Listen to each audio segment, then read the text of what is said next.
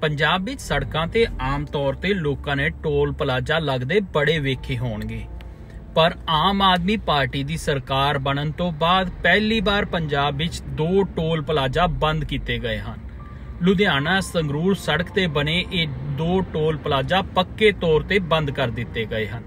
ਮੁੱਖ ਮੰਤਰੀ ਭਗਵੰਤ ਮਾਨ ਦੇ ਐਲਾਨ ਤੋਂ ਬਾਅਦ ਇਹ ਟੋਲ ਦੋਨੋਂ ਹੀ ਪੱਕੇ ਤੌਰ ਤੇ ਬੰਦ ਹੋ ਚੁੱਕੇ ਹਨ ਅਤੇ ਲੋਕਾਂ ਨੂੰ ਹੁਣ ਸੰਗਰੂਰ ਤੋਂ ਲੁਧਿਆਣਾ ਜਾਣ ਲਈ ਕੋਈ ਟੋਲ ਨਹੀਂ ਦੇਣਾ ਪਵੇਗਾ। ਮੁੱਖ ਮੰਤਰੀ ਦੇ ਇਸ ਐਲਾਨ ਤੋਂ ਬਾਅਦ ਜਿੱਥੇ ਆਮ ਲੋਕ ਬੇहद ਖੁਸ਼ ਹਨ, ਉੱਥੇ ਹੀ ਟੋਲ ਕਰਮਚਾਰੀ ਬੇहद ਨਿਰਾਸ਼ ਹਨ, ਕਿਉਂਕਿ ਉਹਨਾਂ ਦਾ ਰੋਜ਼ਗਾਰ ਚਲਾ ਗਿਆ ਹੈ। ਉਧਰ ਦੂਜੇ ਪਾਸੇ ਵਿਰੋਧੀ ਵੀ ਭਗਵੰਤ ਮਾਨ ਦੇ ਇਸ ਐਲਾਨ ਤੋਂ ਬਾਅਦ ਭਗਵੰਤ ਮਾਨ ਤੇ ਤਾਜ ਕੱਸ ਰਹੇ ਹਨ।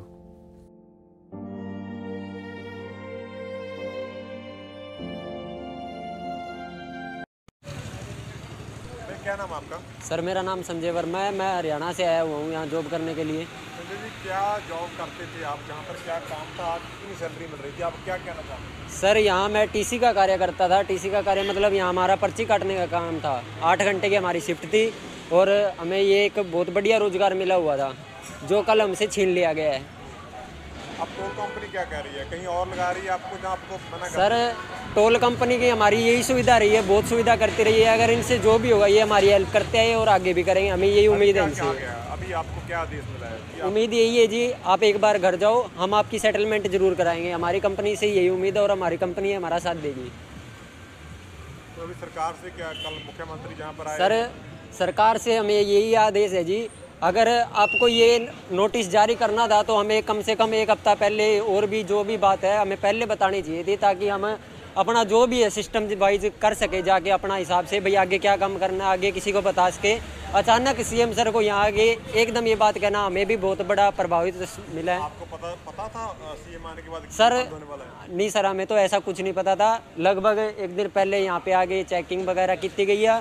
तो यहाँ पे धरना वगैरह लगाया और सीएम साहब आए और अचानक ये आदेश दे दिया भाई बंद कर दिया जाए ਕੀ ਨਾਮ ਹੈ ਤੁਹਾਡਾ ਮਨਿੰਦਰ ਸਿੰਘ ਹੈ ਵੀਰੇ ਮਹਿੰਦਰ ਭਾਈ ਕੀ ਕੰਮ ਕਰਦੇ ਤੁਸੀਂ ਟੋਲ ਤੇ ਕਦੋਂ ਤੋਂ ਜੌਬ ਕਰ ਰਹੇ ਹੋ ਟੋਲ ਤੇ ਪਰਚੀ ਕੱਟਣ ਦਾ ਕੰਮ ਕਰਦਾ ਜੀ ਅੱਜ ਤੋਂ 6 ਮਹੀਨੇ ਪਹਿਲਾਂ ਦਾ ਲੱਗੇ ਹੋਏ ਹਾਂ ਵੀਰੇ ਇੱਥੇ ਤੇ ਇੱਥੇ ਪਰਚੀ ਕੱਟ ਰਹੇ ਸੀ ਅੱਛਾ ਕਿੰਨਾ ਕੁ ਨੁਕਸਾਨ ਤੁਸੀਂ ਮੰਨਦੇ ਹੋ ਤੁਹਾਨੂੰ ਜਿੱਥੇ ਆਮ ਲੋਕਾਂ ਨੂੰ ਫਾਇਦਾ ਹੋਇਆ ਨ- ਨੁਕਸਾਨ ਹੀ ਹੈਗਾ ਵੀਰੇ ਇਹ ਚ ਫਾਇਦਾ ਤਾਂ ਕੀ ਹੈਗਾ ਵੀਰੇ ਇਹ ਚ ਹੁਣ ਰੁਜ਼ਗਾਰ ਸੀ ਰੁਜ਼ਗਾਰ ਚ- ਚਲਾ ਗਿਆ ਹੁਣ ਇੰਨੇ ਟਾਈਮ ਤੋਂ ਕੰਮ ਕਰਨ ਲੱਗੇ ਹੋਏ ਸੀ ਕਿੱਥੇ ਲੱਗੇ ਹੋਏ ਸੀ ਲੋਕਲਾਂ ਨੂੰ ਤਾਂ ਵੀ ਤੁਹਾਨੂੰ ਪਤਾ ਸੀ ਵੀ ਮਤਲਬ ਕਿ ਕਿ ਕੱਲ ਮੁੱਖ ਮੰਤਰੀ ਆਉਣਗੇ ਤਾਂ ਇਹਨੂੰ ਬੰਦ ਕਰ ਦੇਣਗੇ? ਨਹੀਂ ਵੀਰੇ ਮੁੱਖ ਮੰਤਰੀ ਦਾ ਨਹੀਂ ਤਾਂ ਨਹੀਂ ਪਤਾ ਸੀ ਕਿਉਂਕਿ ਇਹਨਾਂ ਦਾ ਟੈਂਡਰ ਹੀ ਇਸੇ ਤਰੀਕ ਨੂੰ ਖਤਮ ਹੋ ਜਾਣਾ ਸੀ ਇਸ ਗੱਲ ਤੇ। ਇਹ ਇਹਨਾਂ ਨੇ ਰੱਖਿਆ ਆਪਣੇ ਨਾਲ। ਹਾਂ।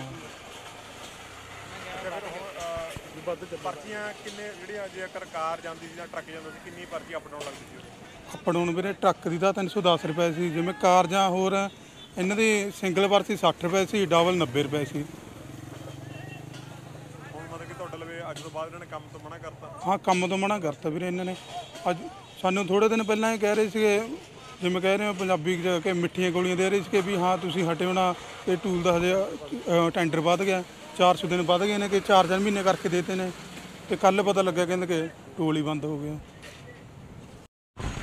सर क्या नाम है ये? भीम सिंह सर अ, जो आपका टोल का जो एग्रीमेंट था कब से लेकर कब तक था ये दो पाँच सितंबर 2015 से शुरू था और चार सितंबर 2022 को रात को ख़त्म होना था बारह बजे। और चार तारीख की रात दिन में दस ग्यारह बजे आगे सीएम साहब ने अनाउंसमेंट कर दी। हमने बंद कर दिया। अभी आम लोगों के लिए रास्ता आ, आम लोगों के लिए फ्री कर दिया हमने। इसको जो पूरा लगा हुआ था अपना आप- आप हटाओगे सर?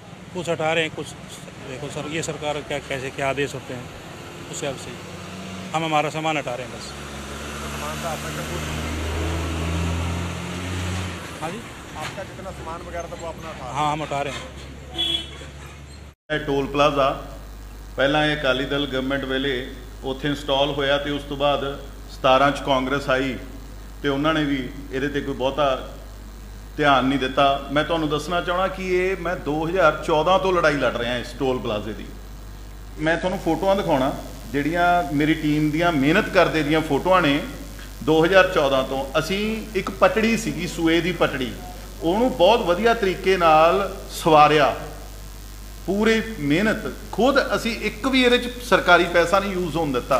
ਸਾਰਾ ਅਸੀਂ ਜਿੰਨੇ ਵੀ ਨੌਜਵਾਨ ਸੀਗੇ ਅਸੀਂ ਸਾਰਿਆਂ ਨੇ ਇਕੱਠੇ ਹੋ ਕੇ ਜਿਹੜਾ ਇਹਦੇ ਤੇ ਇਹ ਯਾਨੀ ਕਿ ਮੇਰੀਆਂ ਮੈਂ ਤੁਹਾਨੂੰ ਦਿਖਾਉਣਾ ਚ- ਅ, ਚਾਹਣਾ ਕਿ ਕਿਸ ਤਰੀਕੇ ਨਾਲ ਅਸੀਂ ਨੇ ਇਹ ਸੜਕ ਦੀ ਇਹ ਸੜਕ ਕਹੀ ਜੀ ਸੀ ਤੇ ਅਸੀਂ ਕਿਸ ਤਰੀਕੇ ਨਾਲ ਇਹਦੇ ਤੇ ਮਿਹਨਤ ਕਰੀ ਤੇ ਕਿਸ ਤਰੀਕੇ ਨਾਲ ਫਿਰ ਇਹ ਜਿਹੜੀ ਸੜਕ ਆ, ਉਹ ਬਣੀ?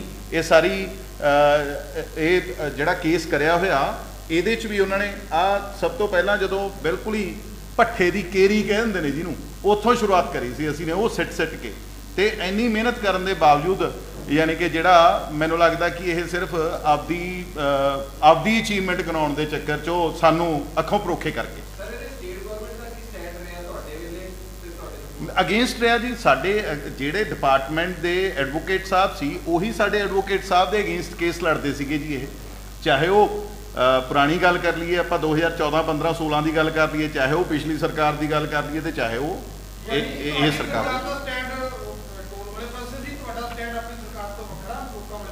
ਮੈਂ ਤਾਂ ਤੁਹਾ- ਤੁਹਾਡੇ ਨਾਲ ਹੀ ਮੇਰੀ ਇੰਟਰਵਿਊ ਹੋਈ ਸੀ, ਜਿਸ ਦਿਨ ਆਪਾਂ ਸੈਸ਼ਨ ਤੋਂ ਬਾਹਰ ਨਿਕਲੇ। ਮੈਂ ਬੜੇ ਜ਼ੋਰ ਸ਼ੋਰ ਨਾਲ ਇਹ ਚੀਜ਼ ਚੱਕੀ ਸੀਗੀ ਵੀ ਇਹ ਟੋਲ ਪਲਾਜ਼ੇ ਨੇ ਜਿਹੜੇ ਇਹ ਲੋਕਾਂ ਤੇ ਬੋਝ ਨੇ, ਇਹ ਟੋਲ ਪਲਾਜ਼ੇ ਨਹੀਂ ਲੱਗਣੇ ਚਾਹੀਦੇ। ਜਾਂ ਸਾਨੂੰ ਜਦੋਂ ਬੰਦਾ ਗੱਡੀ ਲੈਂਦਾ ਤਾਂ ਉਹਦੇ ਤੋਂ ਪੈਸੇ ਛੁੱਟਣੇ ਚਾਹੀਦੇ ਨੇ, ਜਾਂ ਉੱਥੇ 8% ਸਾਡੇ ਤੋਂ ਨਹੀਂ ਕੱਟਿਆ ਜਾਣਾ ਚਾਹੀਦਾ। ਅੱਡ ਅੱਡ ਵੇਰੀਏਸ਼ਨਸ ਨੇ ਇਹਦੇ ਚ ਰੇਟ ਦੇ ਵਿੱਚ। ਯੂਟੀ ਚ ਅਲੱਗ ਆ ਜੀ, ਪੰਜਾਬ ਦੇ ਵਿੱਚ ਅਲੱਗ ਆ ਇਹ ਰੇਟ ਠੀਕ ਹੈ ਨਾ? ਤਾਂ ਇਹ ਚੀਜ਼ਾਂ ਦੇ ਉੱਪਰ ਤਾਂ ਮੈਂ ਬੜੀ ਇੱਕੋ ਚੀਜ਼ ਜੇ ਖੈਰ ਉਹਨਾਂ ਦੀ ਜਗ੍ਹਾ ਤੇ ਮੈਂ ਹੁੰਦਾ ਤਾਂ ਮੈਂ ਰਸਤੇ 'ਚ ਚਾਰੋਂ ਟੋਰ ਪਲਾਜ਼ਿਆਂ ਤੇ ਰੁਕ ਕੇ ਜਾਂਦਾ। ਵੀ ਭਾਈ ਤੁਹਾਡਾ ਕੰਟਰੈਕਟ ਕਿੰਨੇ ਕਿੰਨੇ ਟਾਈਮ ਦਾ ਤੁਸੀਂ ਕਿਉਂ ਨਹੀਂ ਇਹ ਬੰਦ ਕਰ ਰਹੇ? ਤੁਸੀਂ ਉਹ ਜਿਹੜਾ ਬੰਦ ਹੋਣ ਵਾਲਾ ਸੀ ਉੱਥੇ ਜਾ ਕੇ ਉਹਨੂੰ ਵੀ ਤੁਸੀਂ ਰਾਤ ਨੂੰ ਬੰਦ 12 ਵਜੇ ਬੰਦ ਕਰਾਏ। ਇੱਕ ਮਿੰਟ ਜੀ ਇੱਕ ਮਿੰਟ, ਮਾਨ ਸਾਹਿਬ ਇੱਕ ਮਿੰਟ। ਮੈਂ ਧੂਰੀ ਹਲਕੇ ਦੇ ਲੱਡਾ ਪਿੰਡ ਦੇ ਟੋਲ ਪਲਾਜ਼ੇ ਤੇ ਆਇਆ। 2015 ਦੇ ਵਿੱਚ ਇਹ ਟੋਲ ਪਲਾਜ਼ਾ ਚੱਲਿਆ ਸੀ 7 ਸਾਲ ਦਾ ਐਗਰੀਮੈਂਟ ਸੀ। 5 9 2015 ਨੂੰ ਇਹ ਟੋਲ ਪਲਾਜ਼ਾ ਚੱਲਿਆ ਸੀ। ਤੇ ਅੱਜ 4 9 ਹੋ ਗਈ ਤੇ ਅੱਜ ਰਾਤ ਤੱਕ ਇਹ ਟੋਲ ਪਲਾਜ਼ੇ ਦੀ ਮਿਆਦ ਖਤਮ ਹੋ ਜੂਗੀ। ਦੁੱਖ ਦੀ ਗੱਲ ਇਹ ਹੈ ਕਿ ਇਸ ਟੋਲ ਪਲਾਜ਼ੇ ਦੇ ਲੱਗਣ ਤੋਂ ਪਹਿਲਾਂ ਬਾਈ ਇਲੈਕਸ਼ਨ ਹੋਈ ਸੀ। ਧੂਰੀ ਦੀ ਜੀ ਗੋਬਿੰਦ ਸਿੰਘ ਲੌਂਗੋਵਾਲ ਜੀ ਉਮੀਦਵਾਰ ਸੀ ਅਕਾਲੀ ਦਲ ਵੱਲੋਂ ਤੇ ਅਕਾਲੀ ਦਲ ਦੀ ਹੀ ਸਰਕਾਰ ਸੀ। ਤਾਂ ਪ੍ਰਕਾਸ਼ ਸਿੰਘ ਬਾਦਲ ਜੀ ਨੇ ਪਿੰਡ-ਪਿੰਡ ਜਾ ਕੇ ਸੰਗਤ ਦਰਸ਼ਨਾਂ ਦੇ ਵਿੱਚ ਇਹ ਕਿਹਾ ਸੀ ਕਿ ਮੈਂ ਟੋਲ ਪਲਾਜ਼ਾ ਲੱਗਣ ਨਹੀਂ ਦੇਣਾ। ਉਸ ਵੇਲੇ ਪੀਡਬਲਯੂਡੀ ਮਿਨਿਸਟਰ ਪਰਮਿੰਦਰ ਸਿੰਘ ਢੀਂਡਸਾ ਸੀ। ਪਰ ਅਪ੍ਰੈਲ ਦੇ ਵਿੱਚ ਵੋਟਾਂ ਦਾ ਰਿਜ਼ਲਟ ਆਇਆ, ਲੋਕਾਂ ਨੇ ਇਸ ਉਮੀਦ ਨਾਲ ਵੋਟਾਂ ਪਾਈਆਂ ਕਿ ਸ਼ਾਇਦ ਟੋਲ ਪਲਾਜ਼ਾ ਨਾ ਲੱਗੇ। ਪਰ ਅਪ੍ਰੈਲ ਦੇ ਵਿੱਚ ਵੋਟਾਂ ਪੈਣ ਸਾਰ ਇਸ ਟੋਲ ਪਲਾਜ਼ਾ ਦਾ ਕੰਮ ਜਿਹੜਾ ਨਿਰਮਾਣ ਦਾ ਸ਼ੁਰੂ ਹੋ ਗਿਆ। ਤੇ ਸਤੰਬਰ ਤੱਕ ਇਹ ਚੱਲ ਪਿਆ ਸੀਗਾ। ਸੋ ਇਹ ਧੋਖਾ ਹੋਇਆ ਲੋਕਾਂ ਨਾਲ। ਤੇ ਉਸ ਤੋਂ ਬਾਅਦ ਜਦੋਂ 2017 ਦੇ ਵਿੱਚ ਕਾਂਗਰਸ ਵੱਲੋਂ ਐਮਐਲਏ ਚੁਣਿਆ ਗਿਆ, ਉਹਦਾ ਵੀ ਟੋਲ ਪਲਾਜ਼ੇ ਦੇ ਨਾਲ ਨਾਮ ਜੁੜਿਆ। ਕਿ ਸ਼ਾਇਦ ਕੋਈ ਨਾ ਕੋਈ ਇਹੋ ਜਿਹੀ ਗੱਲ ਹੋਈ ਹੈ, ਲੋਕਾਂ 'ਚ ਪਰਸੈਪਸ਼ਨ ਚਲੀ ਗਈ।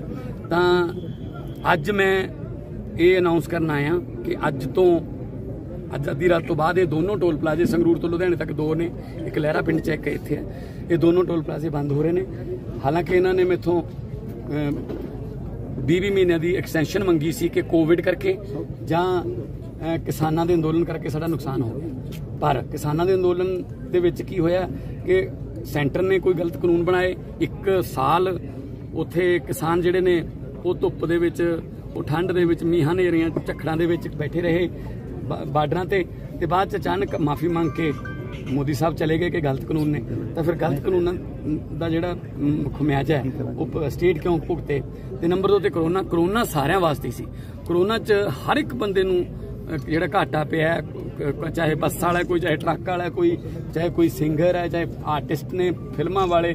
ਸੋ ਨੈਸ਼ਨਲ ਡਿਜ਼ਾਸਟਰ ਦੇ ਵਿੱਚ ਇਹ ਕੋਈ ਜ਼ਰੂਰੀ ਨਹੀਂ ਹੁੰਦਾ ਕਿ ਅਸੀਂ ਉਹਨਾਂ ਦਾ ਘਾਟਾ ਪੂਰਾ ਕਰੀਏ। ਨੈਸ਼ਨਲ ਡਿਜ਼ਾਸਟਰ ਸੀ, ਕੁਦਰਤੀ ਆਫਤ ਸੀ, ਤੇ ਉਹ, ਉਹਦੇ ਵਿੱਚ ਬਲਕਿ ਇਹਨਾਂ ਨੂੰ ਸਾਥ ਦੇਣਾ ਬਣਦਾ ਸੀਗਾ ਕਿ ਜਿਹੜਾ ਇਹ, ਇਹੋ ਜਿਹੇ ਮੌਕੇ ਤੇ ਅਸੀਂ ਜਿਹੜਾ ਸਾਥ ਦੇਵਾਂਗੇ।